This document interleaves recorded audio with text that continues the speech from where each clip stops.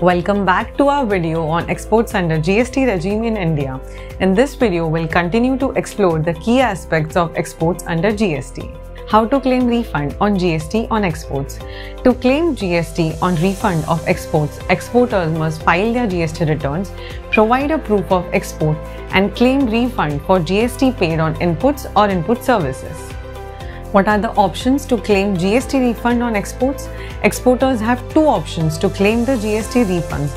Firstly, they can supply the goods or services under bond without payment of integrated tax. And second, they can pay the IGST on exports and claim the refund afterwards.